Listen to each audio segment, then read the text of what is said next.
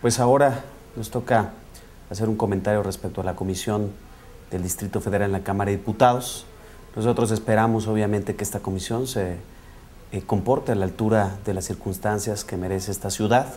Esta ciudad requiere eh, inmediatamente el apoyo en términos fiscales y presupuestales, eh, a su vez, pues parar el recorte que tenemos evidentemente del gobierno, del gobierno federal al gobierno del DF Estamos hablando de 8 mil millones de pesos que tenemos de recorte en la ciudad en el 2009.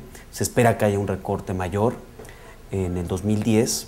Evidentemente también está eh, eh, la fórmula que cambiaron, eh, que modifica el tema de las participaciones federales. Antes se hacía con el 21%, ahora con el 17% ¿sí? del, del Producto Interno Bruto, según datos del INEGI.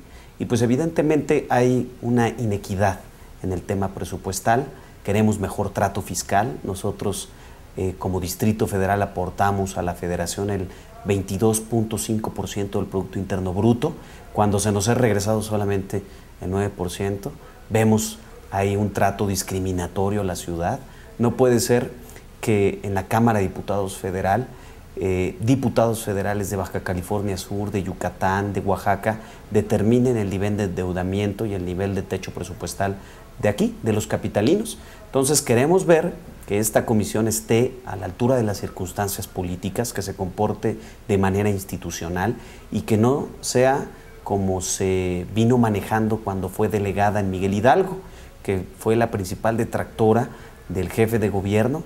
Eh, cada uno ve en la televisión, que ella solamente daba noticias, pero para pegarle al jefe de gobierno. Esperamos sea un trabajo institucional ¿sí? y que defienda a los capitalinos con la reforma política, con la nueva constitución que merece la ciudad, con el tema de la basura, con el tema del agua, con el tema evidentemente que tiene que ver con la infraestructura y transporte.